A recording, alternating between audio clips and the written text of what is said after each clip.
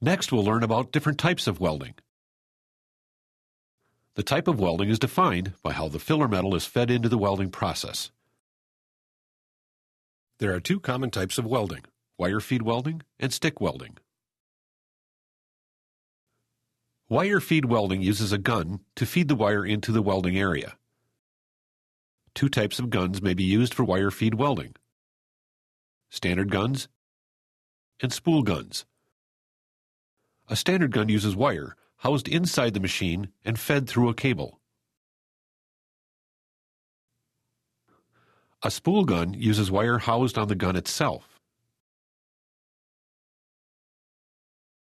In wire feed welding, when the gun trigger is pulled, an arc is created at the tip of the gun between the wire and the metal to be joined.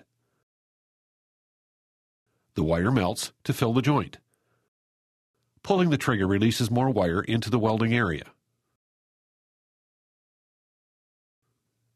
The type of wire determines the welding machine setup.